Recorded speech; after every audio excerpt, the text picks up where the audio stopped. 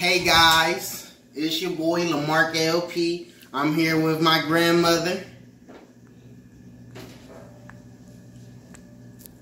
My name is Teresa P. and my grandson uh, left out a few of the important things that I would like to bring up for you.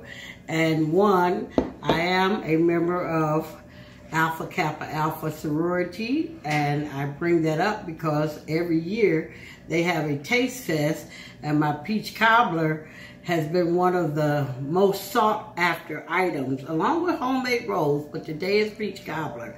So i'm i'm not going to really do the traditional i'm just going to give tell you some pointers on how you can make the same for yourself.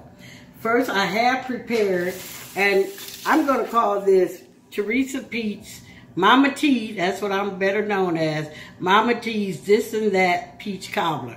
Because it's a little of this and a little of that. But once we put it all together, you will not be disappointed.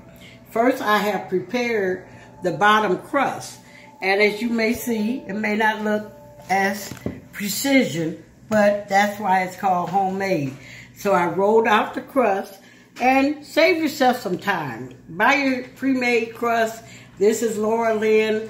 It's a very um, well-known brand. Of course, Pillsbury and whoever you choose is sufficient. So I rolled out the crust just a little bit thinner so that it would be nice and crispy. So I rolled out the crust and I put it in my Pyrex dish. And while I'm putting my other ingredients together, this will be baking.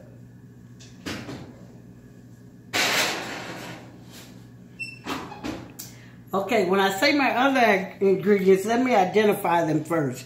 Of course, I did a, my pre-washing of the hands before I entered the kitchen.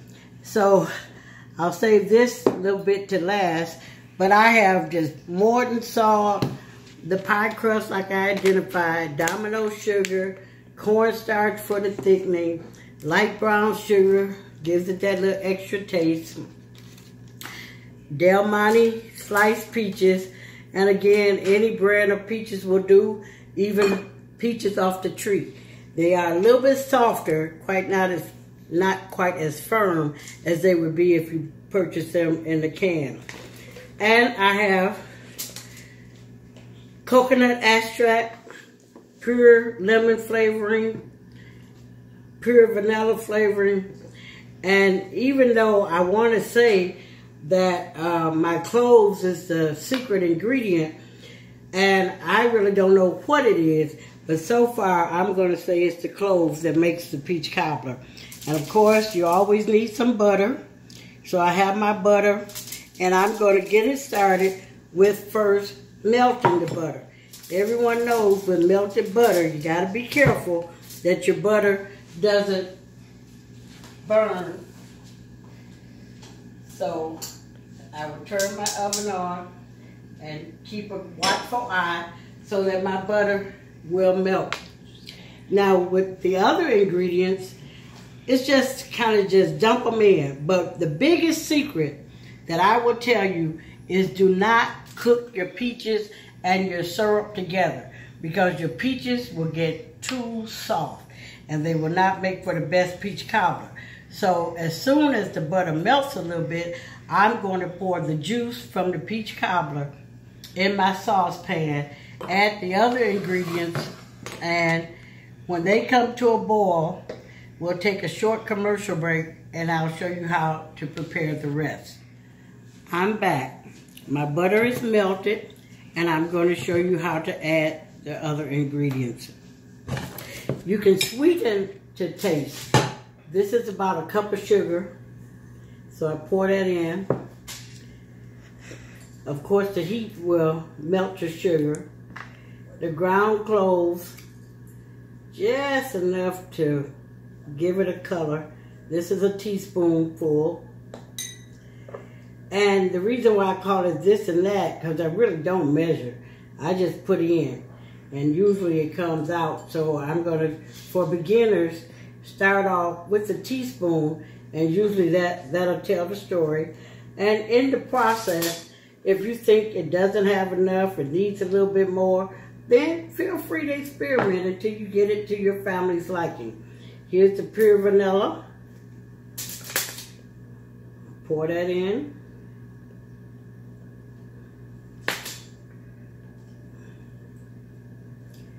And notice if you set your ingredients to the left or to the right so that they get warm.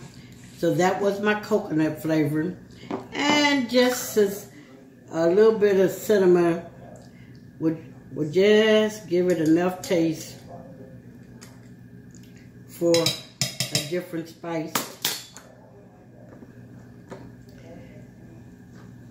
And the cornstarch mixture, and I usually just, just when people say a pinch of salt, just a pinch, just a pinch. And usually you put your two fingers together or again use your spoon. And just so the tip of the fork has a little bit of the salt.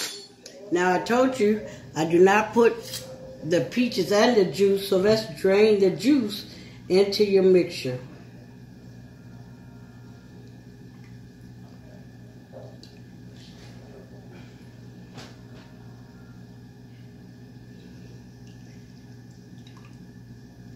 This is what I really call homemade. So you don't have to waste a lot of dishes.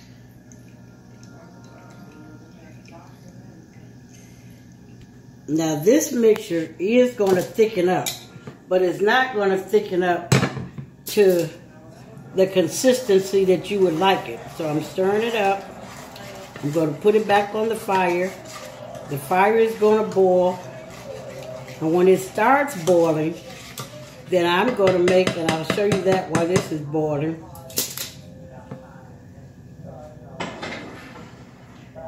I'm going to make a cornstarch mixture. Why cornstarch?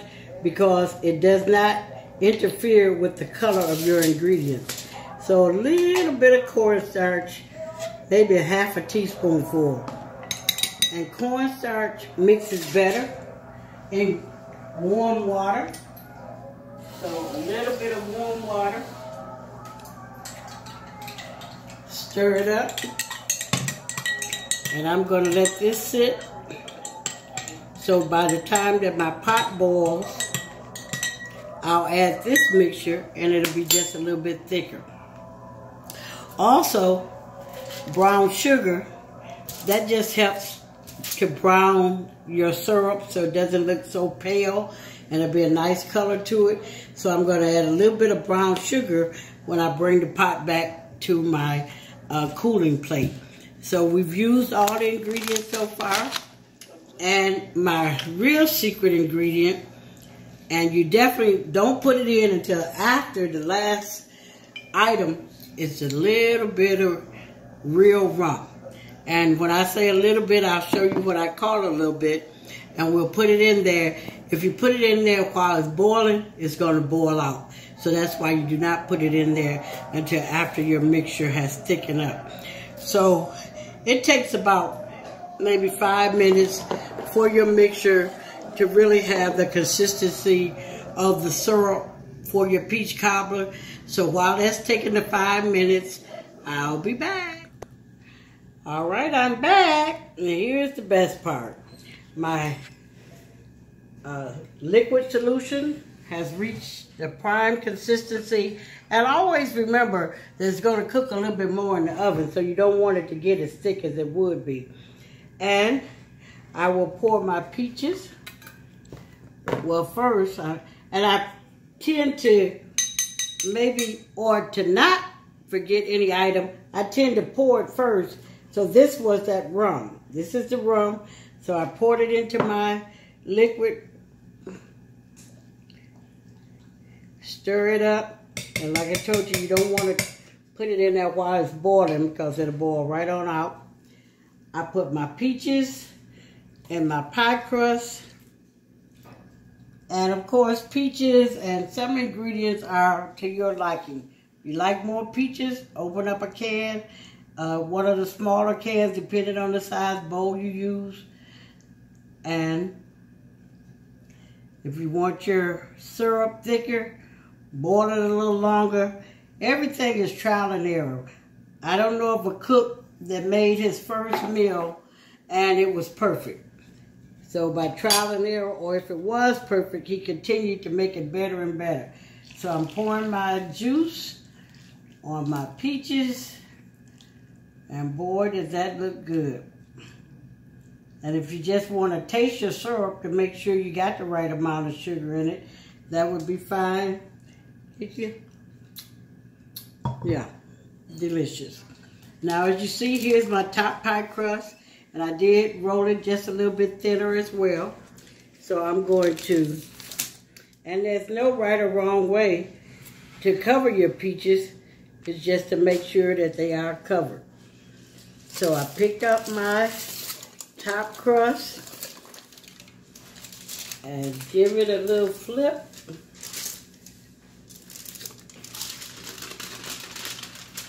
And the flour side down because your smoother side makes a better presentation.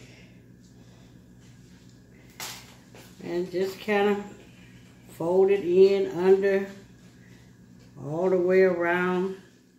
You might want to get, get your fork and make some pretty little crippets on the edge.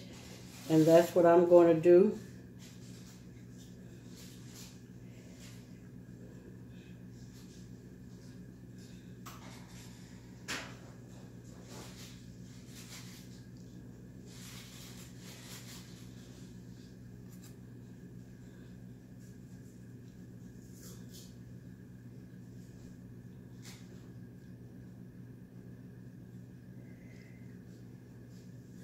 And now again, just press it so that it won't slide down once it gets in your oven. Maybe get it just a little bit of beauty. And to make sure your pie crust gets a little air while it's cooking, you perforate your top crust with any any little design.